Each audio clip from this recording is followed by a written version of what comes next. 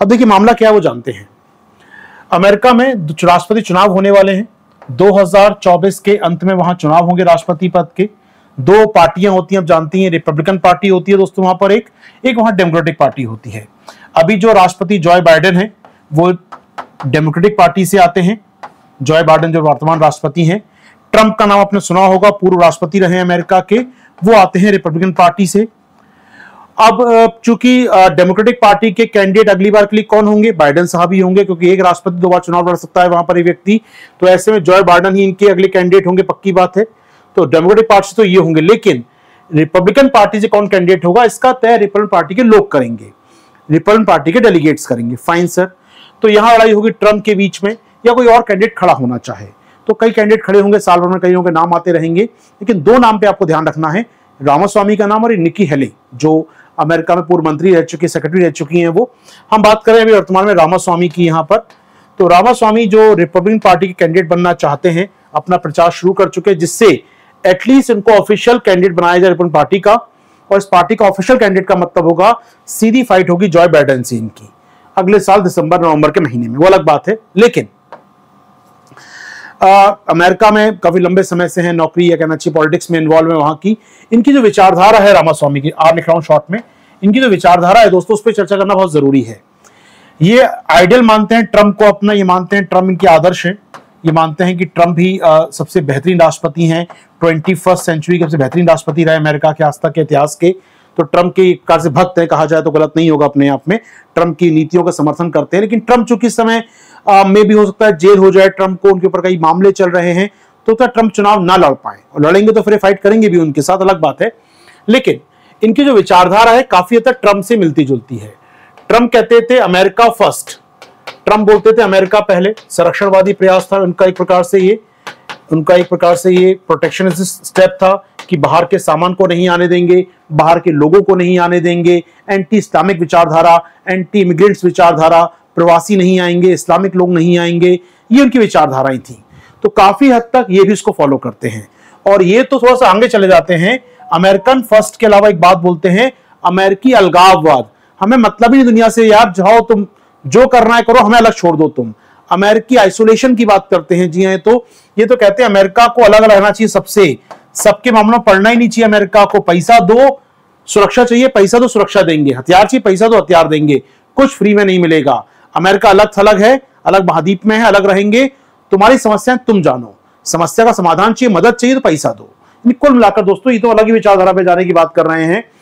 Ukraine war को लेकर इनकी बात करें तो यूक्रेन वॉर पर इनका कहना है, जनाब, अगर राष्ट्रपति बन जाते हैं तो 2024 में राष्ट्रपति चुनाव होगा 25 में चुनाव जीत के सत्ता में आ सकते हैं। मान लीजिए, मैं तो एक अनुमान लगा रहा हूँ, कोई व्यक्ति चुनाव जीत सकता है लोकतंत्र में।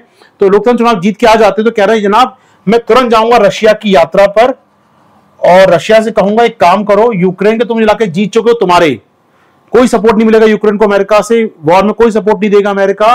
रशिया से दोस्ती करूँगा मैं जाके दोबारा और रशिया से शर्त पर दोस्ती करूँगा कि तुम चाइना से अलग हो जाओ।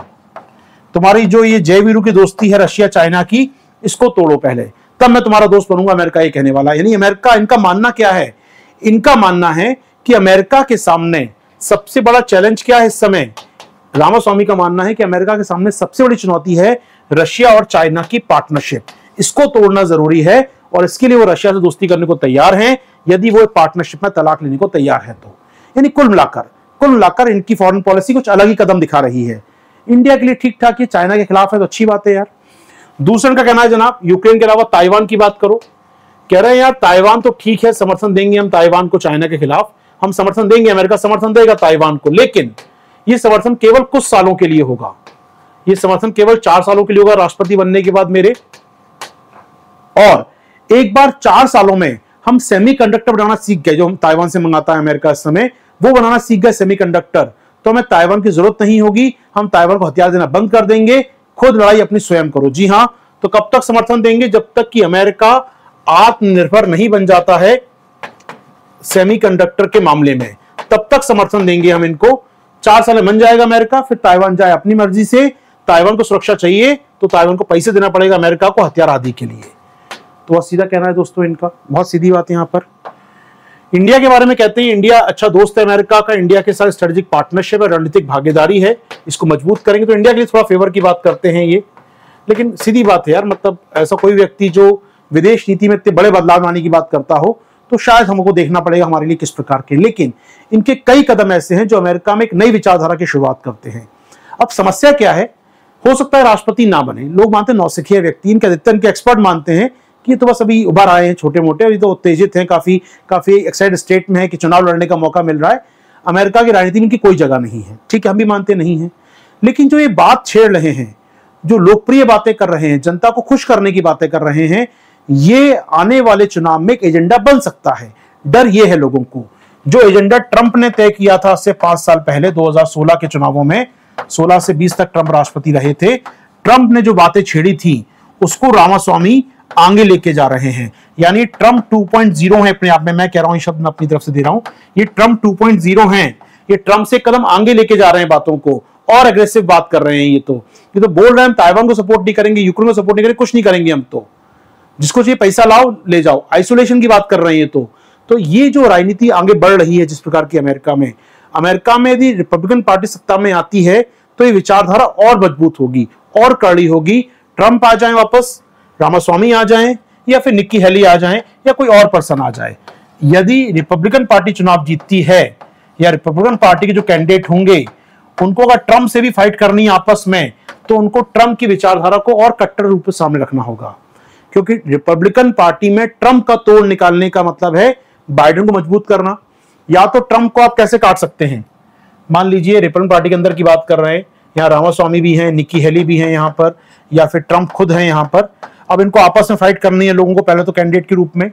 अब रामास्वामी की बात करें दोस्तों, इनको अगर इनसे लड़ना है तो ट्रंप की विचारधारा को कट रूप से आगे रखना होगा। यदि ट्रंप से खिलाफ जाते हैं तो बाइडन मज़बूत हो जाएँगे अल्टीमेटली इससे। जो अमेरिका नहीं चाहता। तो अल्टीमेटली क्या होगा? ट्रंप की विचारधारा को ही आगे बढ़ावा मिलना है। ये वही समस्या है कहीं ना कहीं इस पूरे मामले में। तो निश्चित तौर पर रामास्वामी का उभरना इंपॉर्टेंट नहीं है। इनकी बातों का उभरना बहुत इंपॉर्टेंट है, क्योंकि आने वाले साल 2024 का चुनाव होगा। इसमें अमेरिका में ये बदलाव देखने को मिल सकता है। अमेरिकी विदेश नीति में पक्ष सामने आ सकता है। क्या मेरी बात पहुँच पाई है? क्या मेरी बात पहुँच पाई है दोस्तों आप तक? उम्मीद कर रहा हूँ मेरी चर्चा हो पाई है।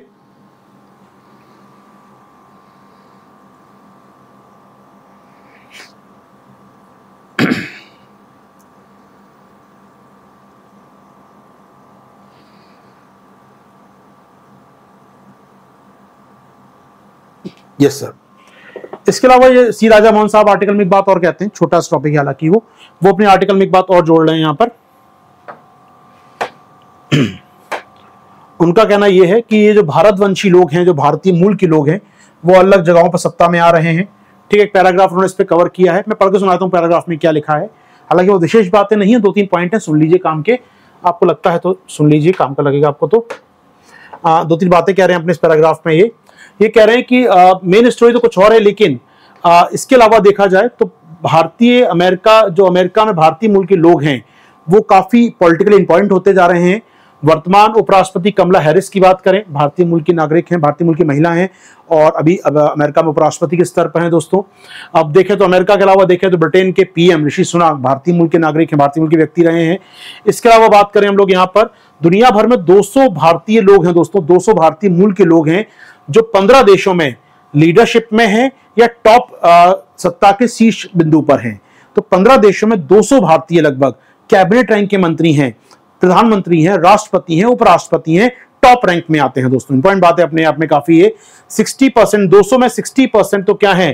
कैबिनेट पोजीशन हासिल किए हुए हैं डिफरेंट देशों की सरकारों में। तो भारतीय मूल के लोगों का पॉलिटिकल किस प्रकार से राइज हुआ है पिछले कुछ सालों में? विशेषकर ये राइटर हमारा कह रहा है यहाँ पर विशेषकर किन राष्ट्रों में? अफ्रीका में नहीं। आ, मैं कहूँ आपसे आशियान में नहीं। जो आ, कहना चाहिए जो अंग्रेज़ी भाषा बोलने वाले या जो विकसित राष्ट्र हैं, यूरोपियन राष्ट्र हैं, अमेरिका है, कनाडा है, इनकी बात हो रही है दोस्तों, जिनको हम बोलते हैं आमतौर पर एंग्लो सेक्शन वर्ल्ड, यानी कि जो अंग्रेज़ी भाषा या अंग्रेज़ी उपनिवेशवाद के देश देश थे, उन देशों की बात हो रही है यहाँ पर। उन देशों में हमारे भारतीय मुल्क के लोग काफ़ी अच्छी विचारधारा, काफ़ी अच्छे पोजिशन में बने हुए हैं। ये कहना राइटर का यहाँ पर। तो इंडियन डायस्पोरा यहाँ पर जो है दोस्तों इंपॉर्टेंट रोल प्ले कर रहा है पॉइंट भूमिकाओं में बना हुआ है यहाँ पर। ये कहना है राइटर का उम्मीद कर रहा हूँ, दोस्तों बात समझ आपको आ रही है मेरी ये। चलिए तो ये सामान्य बातें हैं। बाकी सारी बातें मैं चर्चा कर दी आपके साथ यहाँ पर। ठीक है तो यहाँ पर राइटर एक बात कहता है लास्ट में आके, वो सुन लीजिए रामास्वामी के बारे में।